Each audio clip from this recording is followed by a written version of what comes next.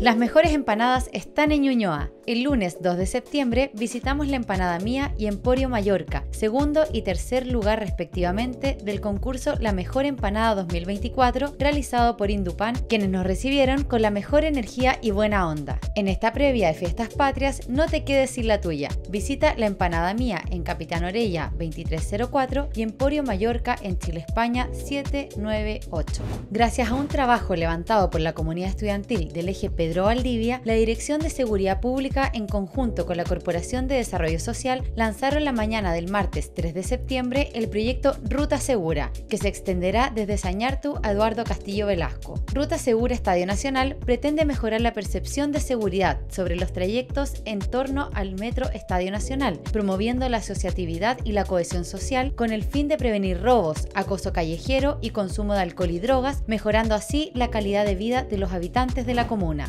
El martes 3 de septiembre estuvimos en los tijerales de la Jane Fonda. La alcaldesa Emilia Ríos, junto a Álvaro Enríquez, Torito Alfaro, María Esther Zamora, el perro Chocolo, las concejalas Kena Lorenzini y Mireia del Río, y las y los fonderos de Ñuñoa dieron a conocer en detalle los preparativos de una de las fondas más importantes que tendrá la región metropolitana en estas fiestas patrias. El martes 3 de septiembre nos reunimos con las juntas de vecinos aledañas al Estadio Nacional para comunicarles las medidas de mitigación que se tomarán en el entorno del principal reducto deportivo del país, donde se desarrollará la Jane Fonda los días 18, 19, 20 y 21 de septiembre.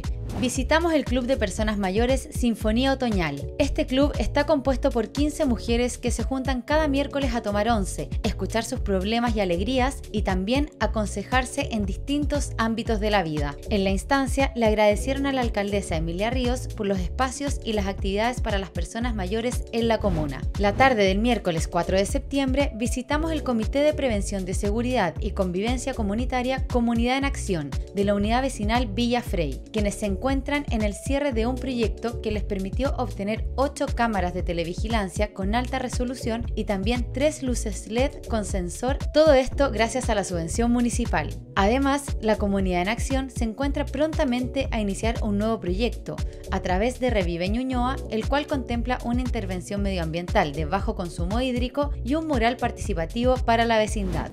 El jueves 5 de septiembre, junto al equipo municipal, visitamos la residencia de personas mayores Senior Paulina. En la instancia pudimos conocer las historias de los 21 residentes del hogar, quienes nos recibieron de forma muy hospitalaria. Más tarde, también el jueves 5 de septiembre, estuvimos en Casa Segers, celebrando junto a vecinas y vecinos que pasamos agosto. Fue una instancia muy grata y acogedora, en que las risas no faltaron y los dulces tampoco. Las y los asistentes aprovecharon la instancia para agradecer la facilitación de este espacio para su desarrollo y esparcimiento. A la celebración asistió la alcaldesa Emilia Ríos y la concejala Verónica Chávez. El jueves 5 de septiembre nos reunimos con la agrupación Nuestro Día de la Población Rosita Renard. Fue una instancia para conocer a las vecinas y vecinos, escuchar sobre sus actividades y destacar la importancia de construir en comunidad. Dirigentes y dirigentes de clubes deportivos de la comuna se reunieron el jueves 5 de septiembre en la sede de INACAP Ñuñoa para el segundo encuentro de dirigentes deportivos de Ñuñoa 2024 organizado por Ñuñoa Deportes. En la instancia participaron la alcaldesa Emilia Ríos, las concejalas Débora Carvalho, y Kena Lorenzini, la directora de Ñuñoa Deportes, Carolina Bergión, y la vicerrectora de INACAP Ñuñoa, Mónica Brevis.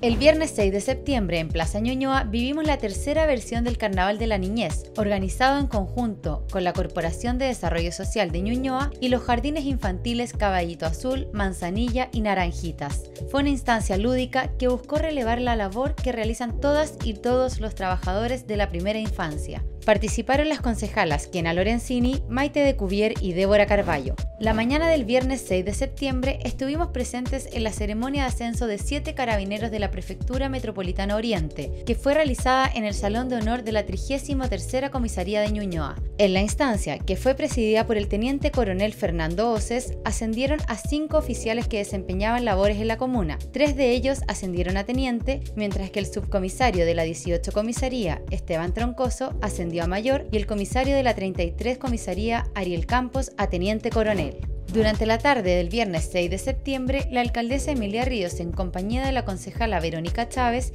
visitaron a las vecinas y vecinos de la Villa Rebeca Mate en su junta de vecinos. Fue una instancia donde pudimos escuchar a la comunidad y también contarle los grandes avances que hemos desarrollado en el municipio, especialmente en el área de salud.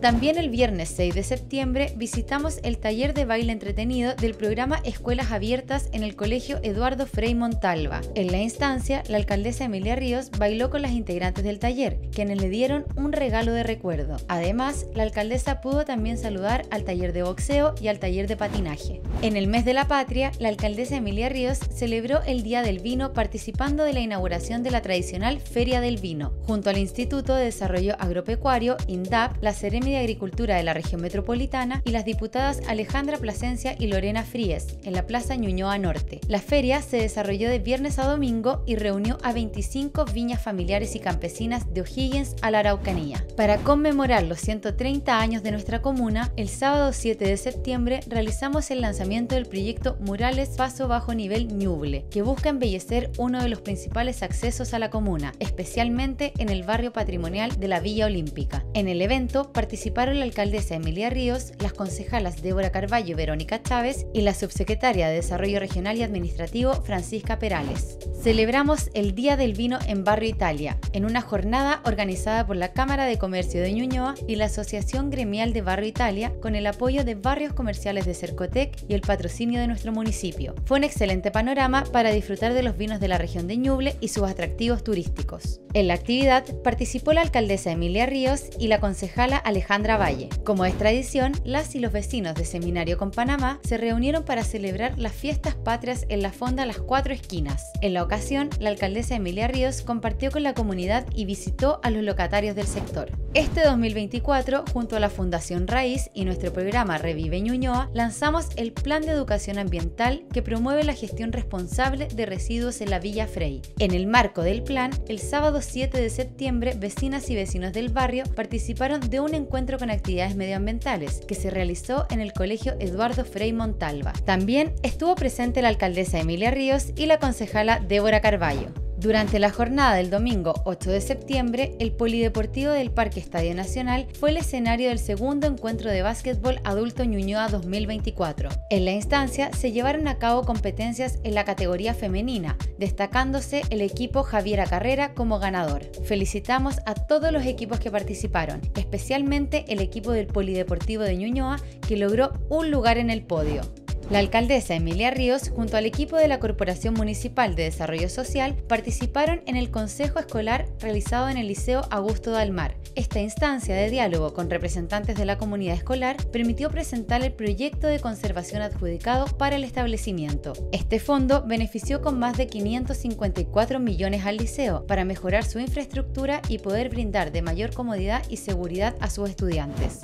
Desarrollamos la primera audiencia pública sobre la enmienda al Plan Regulador Comunal. En el marco de este proceso de mejora al Plan Regulador Comunal, la tarde del lunes en la Junta de Vecinos Suárez Mujica se dieron a conocer los temas que serán abordados en este proceso y se acogieron las recomendaciones de la comunidad. Mañana, jueves 12 de septiembre, desarrollaremos otra instancia a las 19 horas en la sala de cine de la Casa de la Cultura de Ñuñoa, ubicada en Avenida Irarrázaval 4055. En la reunión estuvo presente la alcaldesa Emilia Ríos y las concejalas Verónica Chávez y Mireia del Río.